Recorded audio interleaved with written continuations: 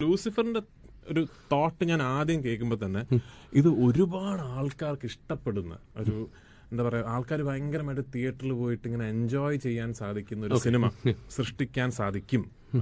ലാലേട്ടനെ പോലെ ഒരു ഒരു വലിയ സ്റ്റാർ ഉണ്ടെങ്കിൽ എന്ന് എനിക്കൊരു തോന്നലുണ്ടായി. തീർച്ചയായും.